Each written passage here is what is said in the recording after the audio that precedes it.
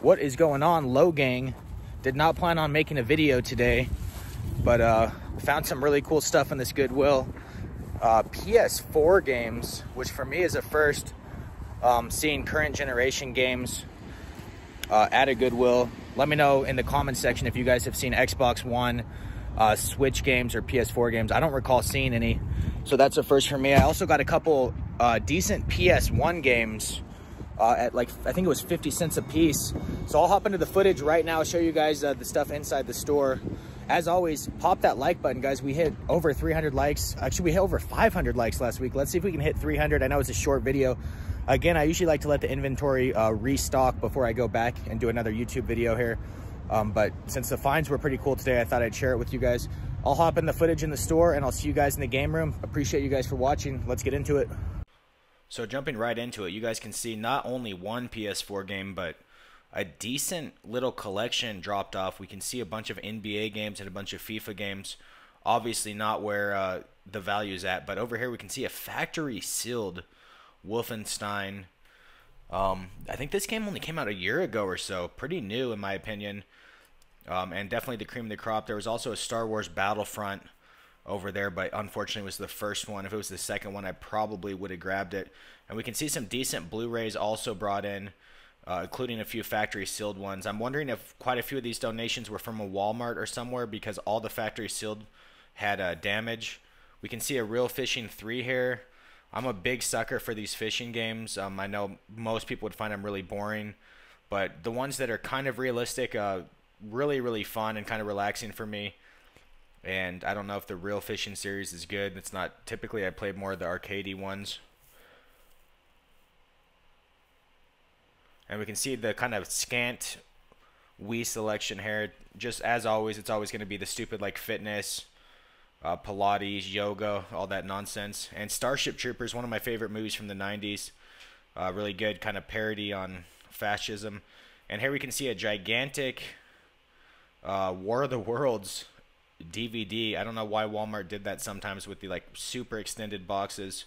And checking out the CD section, uh, typically looking for PS1 games, but here we can see a Tiger Wood game from uh, 1999. I'm actually surprised that the series went back that long, and it kind of reminds me of how just how old Tiger Woods is. That he was already uh, such a superstar back in the late 90s, over 20 years ago, and precariously trying to get this game out of the bottom of the stack. So you guys can see a picture here. I ended up putting the phone down and just putting it on the top to show you guys Need for Speed 3, um, PS1. I didn't know this series. I, I mean, I played it on the PS2 a lot. I don't remember it being on the PS1. But this is why I always check the CD section. And I ended up picking up a bunch of these PS1 games, or I should say only two, for a dollar a piece. So no brainer. They ring them up as like CDs or media or something, so they don't even know it's video games. And we can see a Scooby Doo Cyber Chase game. Um, again, anything that's not sports, if I'm going to get it for under a buck, especially this generation PS1, I'm going to pick this up 100% of the time.